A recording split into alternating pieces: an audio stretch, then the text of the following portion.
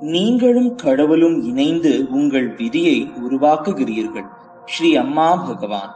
நான் இந்தியாவின் தெலுங்கானாவின் சங்கரெட்டியைச் சேர்ந்த மாதுர்.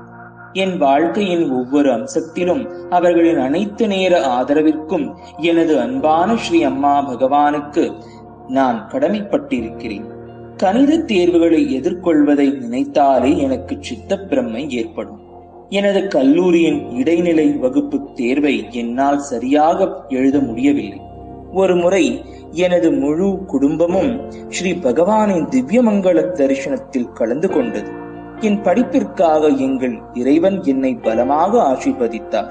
நான் உனக்கு உதவுவேன். நான் உன்னுடன் இருப்பேன். அடுத்த முறை ஆசீர்வதிக்கப்பட்ட ஸ்ரீமூர்த்தியை எனது தேவு மண்டபத்திற்கு எடுத்துச் சென்றேன்.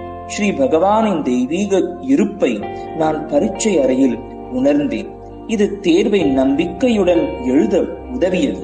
இதன் காரணமாக எனது இடைநிலை வகுப்பு தேர்வுகளில் வெற்றி பெற்றேன். மிக்க நன்றி வித்யா பிரதாத்தா ஸ்ரீ அம்மா பகவான். நான் இந்தியாவின் ஹைதராபாத் மதுரா நகரைச் சேர்ந்த எம். ஹர்ஷா ரெட்டி.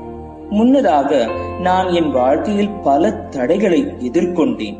எனக்கு ஒரு டாக்டராக வேண்டும் என்ற லட்சியம் இருந்தது.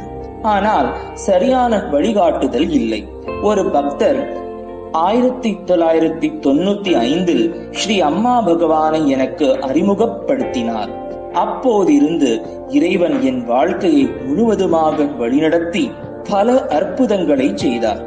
நான் இரண்டாயிரத்தி இரண்டில் பரிணாம யக்னத்தில் பங்கேற்று ஹைதராபாத்தில் மருத்துவ இருக்கைக்காக பிரார்த்தனை செய்தேன். ஒரு வாரத்திற்குள் நுழைவுத் தேர்வில் முதலிடம் பிடித்தேன்.